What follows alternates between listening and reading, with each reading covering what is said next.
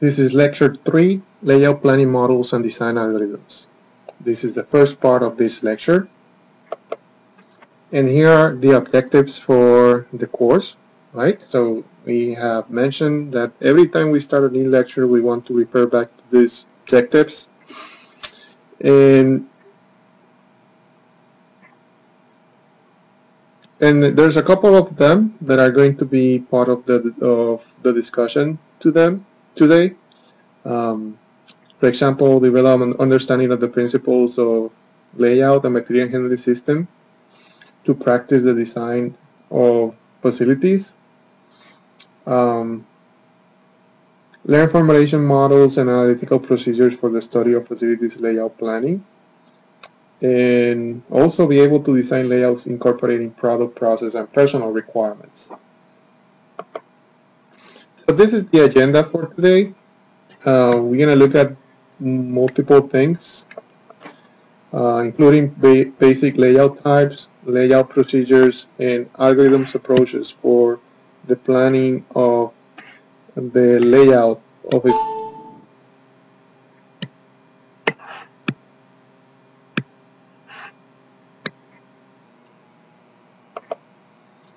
And these are the learning objectives for today. Uh, understand the interactions between layout planning models and design algorithms as they relate to facilities planning. So as an introduction, we, want to uh, discuss the generation of layout alternatives, which is a critical step in the facilities planning process because the layout selected will serve to establish the physical relationship between activities most facility layouts can be viewed at two levels. The block layout, which shows the location, shape, and size of each planning department, and the detail layout, which shows the exact location of all equipment, workbenches, and storage areas within the department. Our focus in this uh, course is going to be on, on quantitative methods for developing and evaluating alternative block layouts. So that uh, first bullet.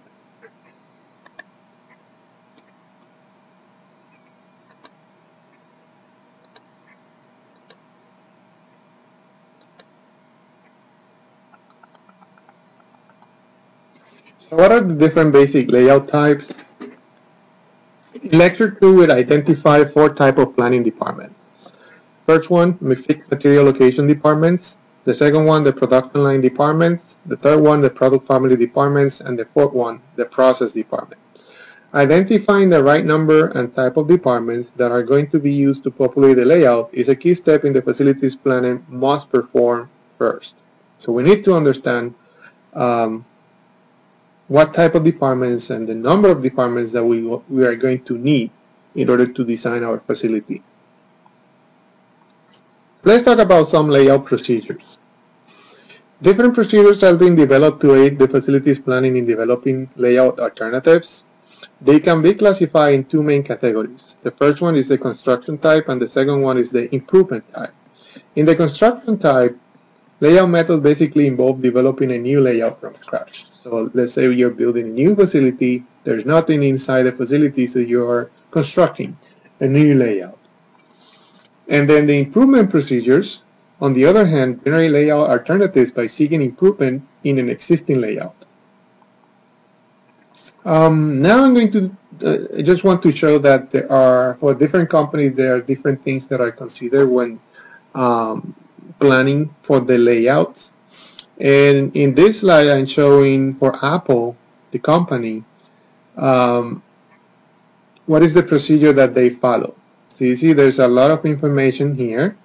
I'm not going to talk about each one of them, but at the beginning they're collecting some data, uh, data regarding the, the type of information, the type of product that is going to be placed in this facility. And then they're starting, they start to consider the material flow pattern, the material handling, the type of equipment that is going to be required, the number of working stations, um, and so on. This is the different uh, plan layout procedure. This is called the RIPS plan layout procedure, and it's more, it's less detailed than the the one considered by Apple. Uh, in this one, we analyze the product or products to be processed. So basically, it's similar to what they do in Apple's uh, plan, in which you collect data and also decide what products are going to be processed. And then based on that, we determine the process required to manufacture the product. We prepare some of the um, um, figures and diagrams that we have mentioned, so to plan, layout planning charts. Then we determine the workstations that are going to be needed.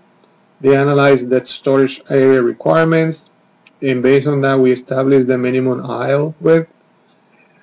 We also have to consider what type of space is going to be used for offices, um, consider personnel facilities and services, survey plan services, and then provide also space for future expansion.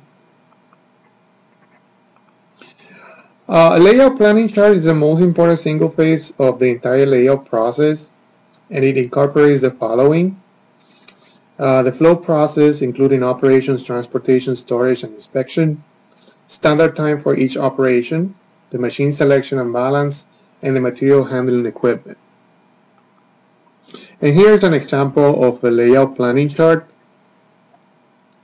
Um, so this chart is split in two areas. At the top we have information about or is a summary of the information and we have some uh, shapes that are used to identify the, the type of uh, action that is being performed.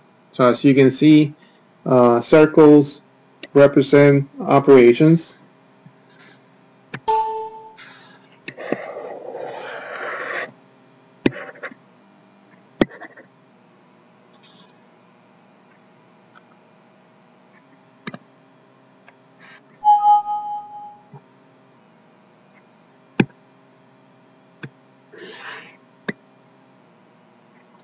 So these are the the shapes that I'm mentioning, operations, transport, inspection and delays and storage. And the the information that is to the right of that uh, of those shapes is basically a summary after you perform the detail uh, analysis, which is uh, described at the bottom of the chart. So you see uh, we have multiple columns in the first column to the to the left we have the steps and then each step details um, the the actions that are going to be performed. We have a method um, if it's going to be a manual activity or not. And then we have a the next five columns basically show uh, per column a, a, shape. And what this does is it, it helps you map the activities in such a way that you know whether you're starting with storage, transport, then a couple of operations, and then you go back to transportation, inspection, and finally transportation again. Um, so this helps you see um, what are the actions that are being performed to uh, in the process, and that information can help you plan for the space. Um, we have information about how, how how much distance um, needs to be traveled, uh, the time in seconds that each action is going to be uh, taking, and then finally the cost per unit. So this is called a layout planning chart. Um, a very uh, well used uh, procedure for planning for layouts in the facility is called the Systematic Layout Planning, SLP procedure. And the Systematic Layout Planning methodology was developed by Richard Muther. Uh, the framework is use activity relationships diagram as a foundation activity. Okay, so we talk about those activity relationships. Remember those diagrams that looks like a triangle so this is the foundation of, of this procedure for planning. And in this slide, I can show you a flowchart of the activities that are performed in order to get to multiple layout alternatives. So we start at the top with the input of an activities, input data and activities, and then we transition to the flow of materials and also we map the activity relationships. From there, we can develop a relationship diagram that can help us plan for the space requirements and the space available. From there, we develop a space relationship diagram which can take, take us to um, the develop of layout alternatives after considering the modifying considerations and practical limitations of the alternatives that are presented. And we come up with multiple activities or multiple alternatives at this step. So we have another step here for the evaluation of those alternatives and for the decision-making process in terms of which alternative is the best. Based on the input data and an understanding of the roles and relationship between activities, a material flow analysis, a from-to chart, and an activity relations analysis with an activity relationship chart are performed. Okay, so these are all steps of the systematic layout planning procedure. So we start with, um, as I mentioned, with a from-to chart and also an activity relationship chart. So in this slide, I'm showing you an activity relationship chart for a specific um, plant this again what you are going to see here is a list of departments right and then we have some information on this side that is being um, defined according to this code right the reason and the closeness and why is, are they absolutely necessarily important and so on so those values are presented in this side of the chart and those allow us to move to the next part which is a relationship diagram. So in the relationship diagram what we are trying to do is position activities uh, spatially. So we are trying to take those activities or those departments um, into a space, right? So that's what is represented here. So the numbers and the nodes are representing the departments, and then we have a different uh, different type of connections here. You see that those dotted uh, lines here, those are representing the strength or the importance between the connection of this department. Um, the stronger the type of line you are presenting, the stronger is the relationship or the closeness or, or the importance of the closeness between those two departments is, is more relevant as you use more strong lines. Um, and their proximities are used to reflect the relationship between a part of between a pair of activities. So there are uh, different ways of defining these connections between these departments. Um, here I'm showing some some ways of defining the the arcs of those of, of the those diagrams. Um, so remember, we, we define this coding, and the code is representing this um, closeness in terms of the importance. And we can use different ways of coding, like for instance, the line code is presented here so four lines represent that this relationship or closeness is absolutely necessary. Uh, when there's no line, it's unimportant. And when this type of line is used, it, we mean that it's a on it's not this. Uh, we want to keep those departments apart. We don't want them close. And then there's some numerical values here in terms of the weights of the relationships. So here's a the relationship diagram, an example. Um, so the number of lines here represent paths required to be taken into transactions between the departments. The more lines, the more interaction between departments. So for example, the relationship between 2 and 5 represent that there's a lot of interaction between departments 2 and 5. This line is representing that, that those two departments cannot be close together. Uh, so the relationship diagram position activities is spatially. Uh, proximities are typically used to re reflect the relationship between pairs of activities. Um, and as you can see in this diagram, we are no longer using the circles to represent the departments. Now we are using those boxes. This is important because, you know, when you, you, you are planning for a layout, you are using a given shape. So now after we arrange or we, we, we make this connection, these relationships using these uh, lines, we want to start moving the department uh, to the base location within the space that is given for the facility.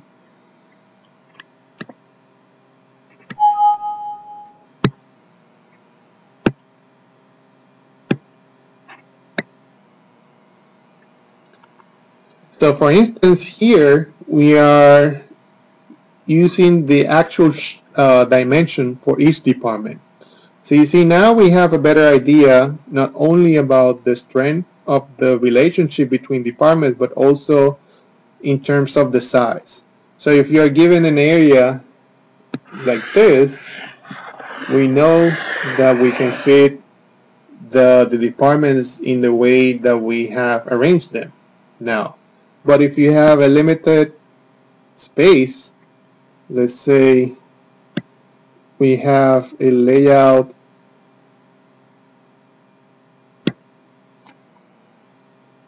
with a shape like this, then we're going to have to move those departments to be accommodated within that size and that shape.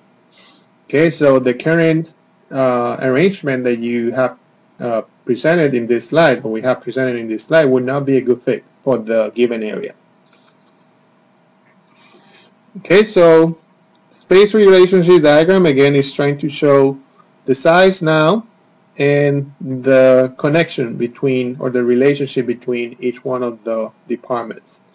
The space relationship diagram involves the determination of the amount of space to be assigned to each activity. So now we transition from the notes um, to the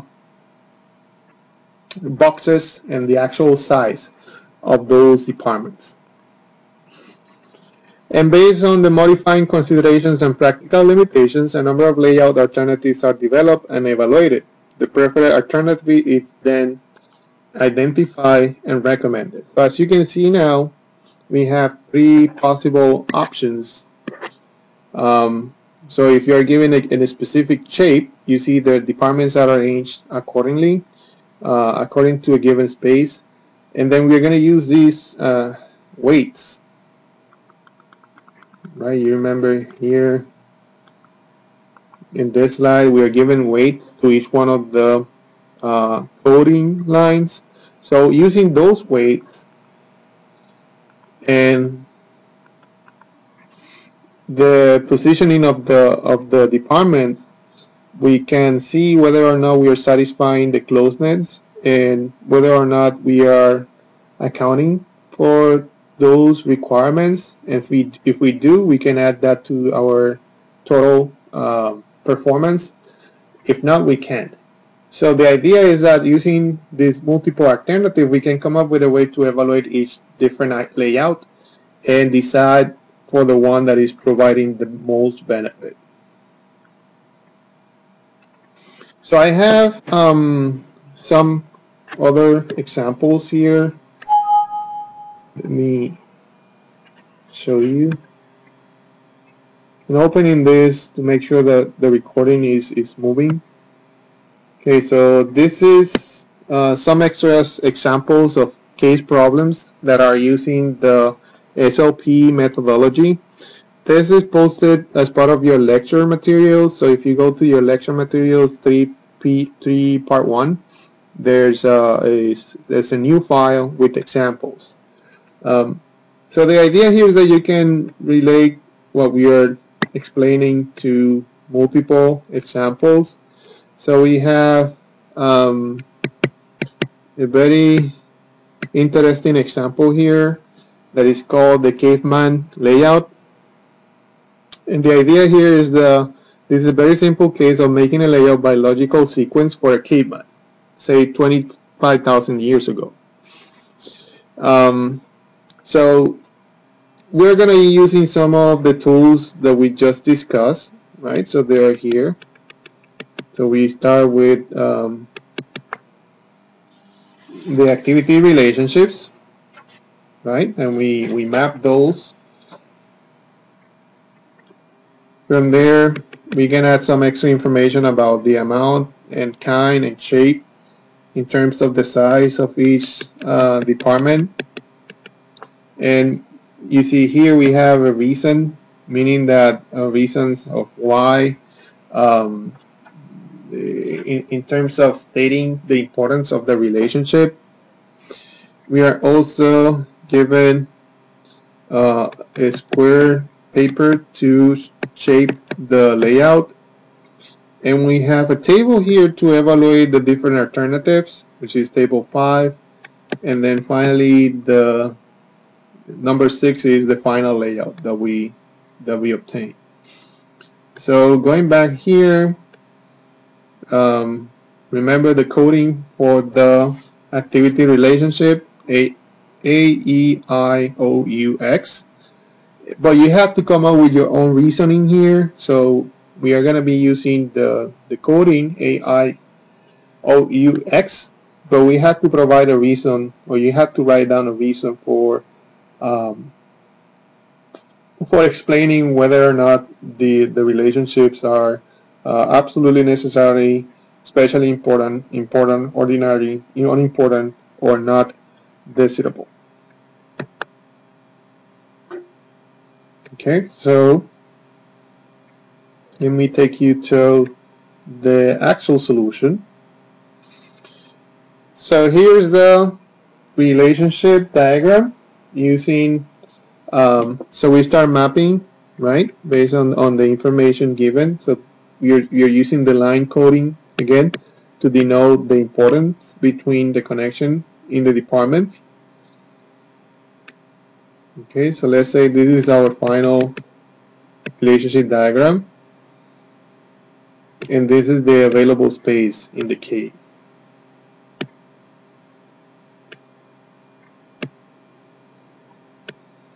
So let's go and showing you the different alternatives once you solve the problem but it take you to the actual solution okay so here we go. So again we have five departments. Fireplace sleep property storage entrance and work area. And the amount that is listed in the first column is basically the area for each one of the departments. And inside the activity relationship diagram, we have the code. So for instance, between fireplace and sleep, there's a, it's a zero, an O, um, and a number one. The, the reasoning, so the solution has a reason. One means that we want to keep warm, two ventilation, three protection, four convenience, and five light. Um, so we are using the closeness rating from AIE OUX and also we are using the reasons that are listed at the bottom of the activity relationship to fill out our activity relationships. Um, and we have the shape on the last column of number two. From there, we are developing this uh, relationship diagram right? So that's number three. And using that information, we are coming up with some design alternatives, which is what we're seeing four. As you can see from the relationship diagram, you want to keep departments two and four away, apart. So that's what you're seeing here in the layout Also, we want to keep 3 and 4 away. So that's what you're seeing also in the layout in the space relationship diagram. Um, um, we want 1 and 4 to be close to each other, so that's why 1 and 4 are close. And 1 and 2 can be closed And 1 to 5 is also closed So we are basically meeting that um, those requirements. Number 5 is showing the evaluation of different alternatives. It looks like for this case there were two alternatives, A and B. So they're using the weight established for the relationship and then we are using those weights to come up with a total score. And based on that, we can decide whether A or, B, A or B is the better alternative. In this case, the total were 80 and 46. So 80 looks like a better alternative. A is a better alternative, so that's why um, we end up with the layout that is shown uh, in number 6. So um, so there are a couple of extra examples here that you can look at. Uh, some of them are more detailed than the others, but the idea is the same. It's showing the use of the SLP methodology to design um, or to come up with some design uh, uh, layouts for your facility. So I encourage you to look at the other examples. Um, just to for your for practical purposes. You're going to be doing some of this in your um, in your homework, in one of your homeworks. I think homework number three. So the idea again is that you follow the the sequence in terms of building these diagrams, and then you present a list of alternatives or one alternative for a layout for a specific uh, facility. Okay, so going back to the lecture.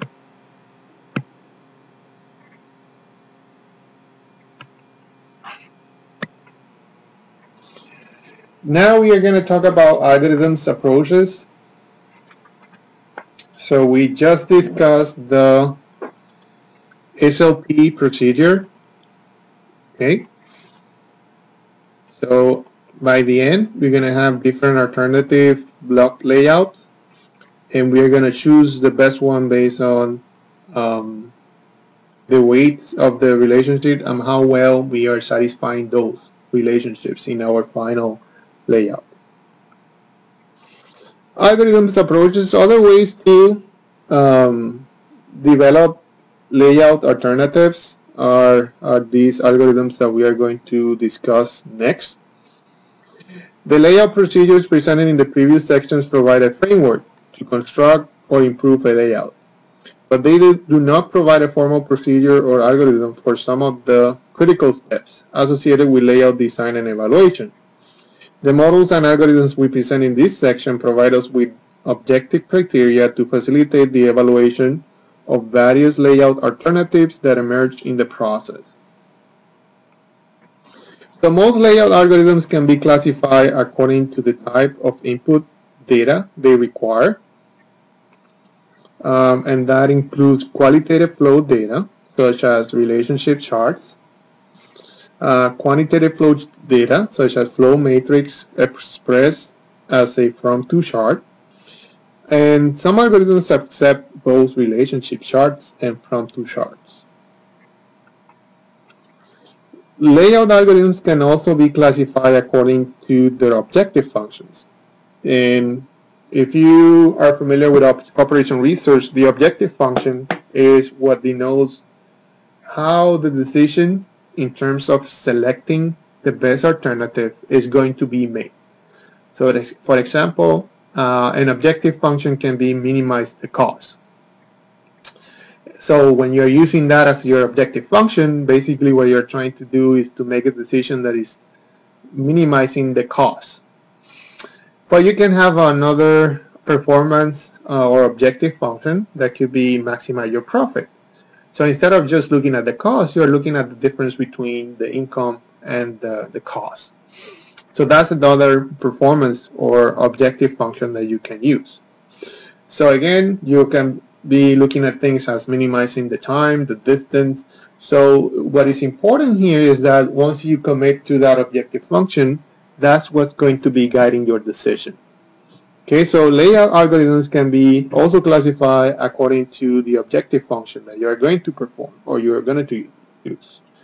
For example, minimizing the sum of flows time distances or maximizing the adjacency score.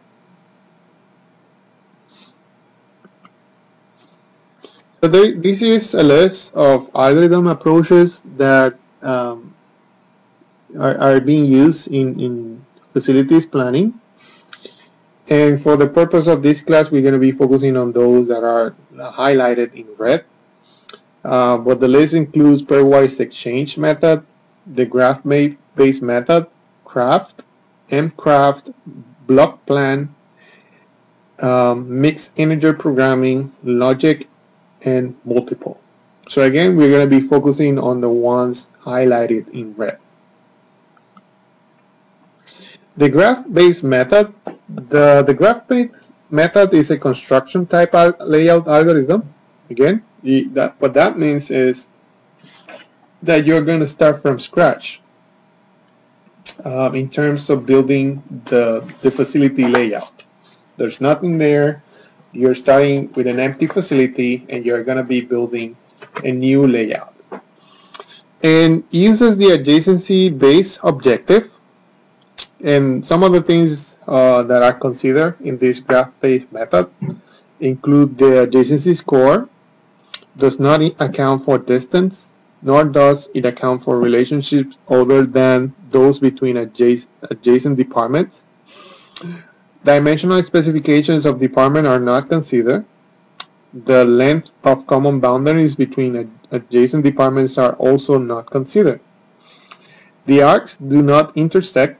This property of graphs is called planarity, and the score is very sensitive to the assignment of numerical weights in the relationship chart. Okay, so this algorithm approach is called the graph-based method, and what it does is, it tries to um, specify the location of departments, but there are some limitations in terms of not considering the size and distances between departments. So let's look at one uh, example. So this is the graph-based method. Consider a, a company that wants to develop a layout for its new five departments of equal size. So in this case, we have a, a company that is trying to come up with a facility layout, and we are assuming that all the departments or these new five departments are of equal size. So we start with the relationship chart, um, and we can see the that those numbers uh, in terms of the the relationship between departments, department 1 through 3, 4, 5. Okay? And from there, we can develop a relationship diagram. Okay, so what I'm going to do is I'm going to develop uh, a network uh, based on these numbers. And I'm going to be using nodes to represent the departments. So I have one, two, three, four, and five. Okay, so I can put some marks according to the relationship between departments. So from 1 to 2, there's a 9. From uh, 1 to 3, there's an 8 from 1 to 5, there's a 0. And from 1 to 4, there's a 10. Um, what else? So we have those four, copper. So from 2 to 3, 2 to 3, there's 12 um, from 2 to 4 this 13 and from 2 to 5 is 7 and then from 3 to 4 is 20 and from 3 to 5 is 0 and from 4 to 5 is 2 okay so this is my relationship diagram. I consider all the possible links between departments. And we move to the actual procedure of the graph-based graph method. Okay, so step one, from the relationship chart, select the department pair with the largest weight. In this case, that department is going to be department 3 and 4, which is here, has a weight of 20.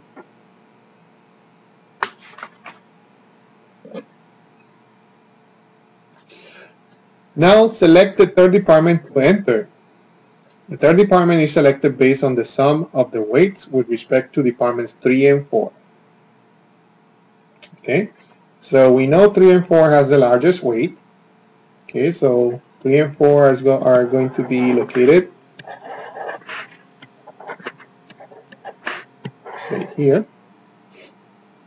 It has 20 now we, we start adding other departments, right? So, um, and we are going to be considering how the rest of the departments or the weights of the, of the other departments uh, measure against the two departments that we already selected. So the rest of the departments are 1, 2, and 5. And the weights between 1 and 3 for the weight is 8 and between 1 and 4 is 10. Just one second.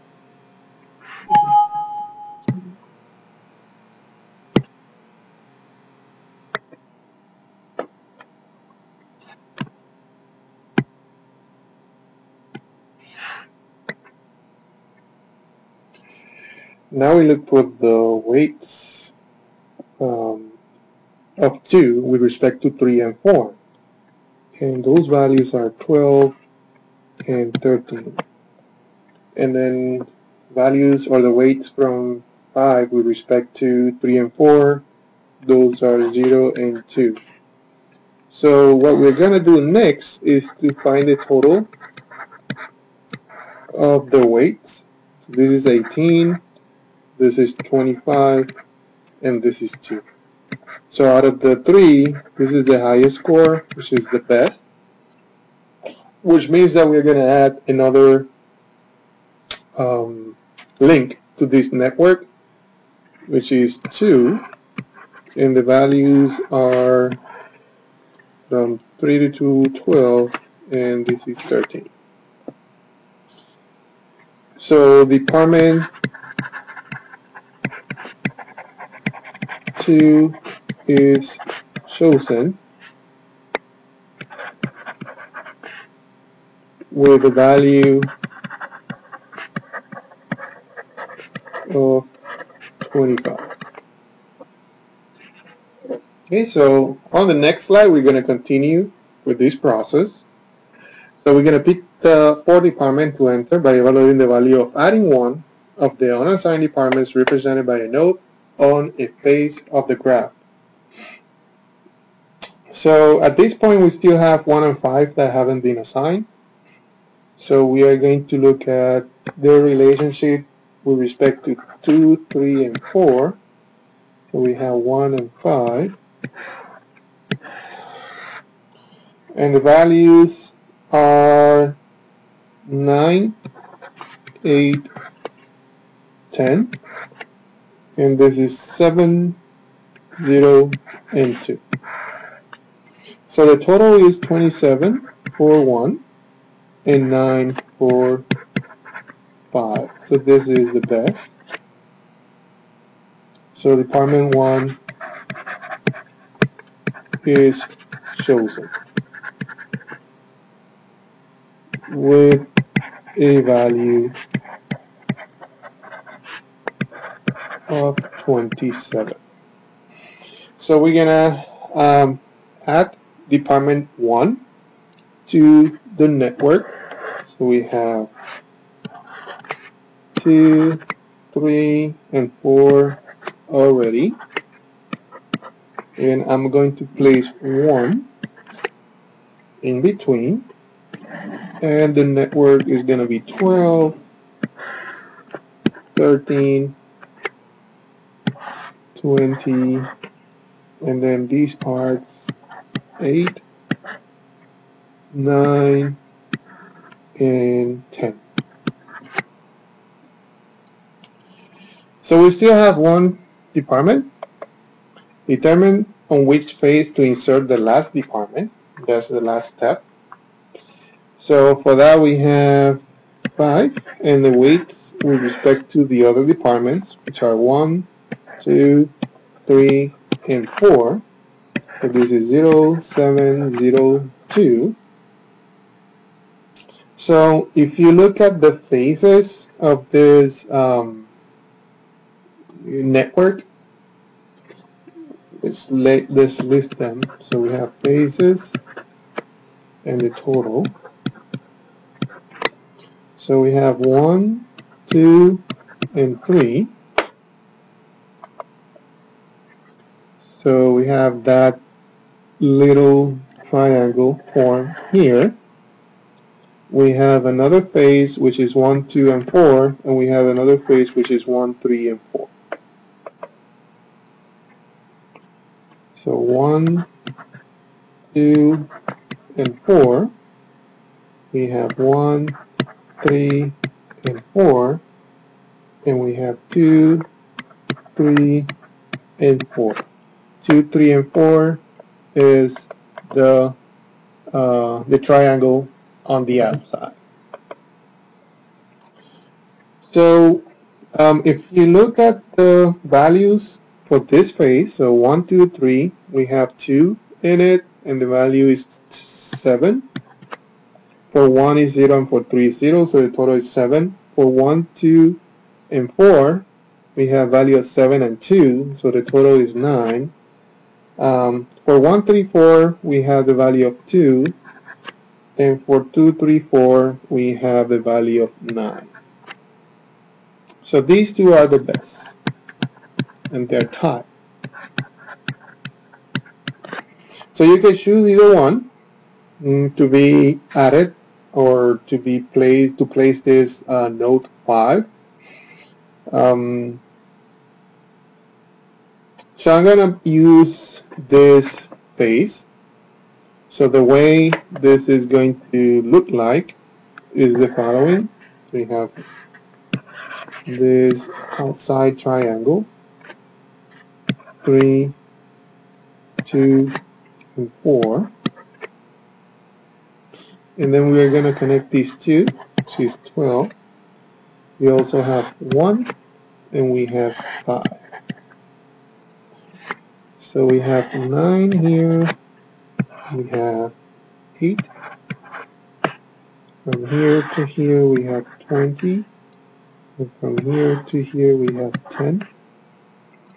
From 1 to 5 we have 0.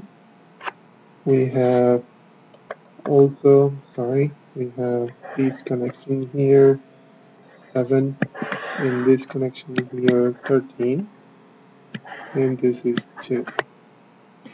Okay, so as you can see, we enter 5 in that phase uh, 1, 2, 4 that I'm going to show now, that phase is these um, 1, 2, 4 is this phase that we uh, chose, which on the previous was this area. So we inserted the um, the node inside that phase, and that is the last node. So using this uh, network, now we can construct a corresponding block layout if we have the dimensions for each department. So uh, as you can see here, if you gather the dimensions, we can somehow or the areas we can um, develop the the size. And basically the size is the the weight. Um, so here's where we end up with this um, corresponding block layout.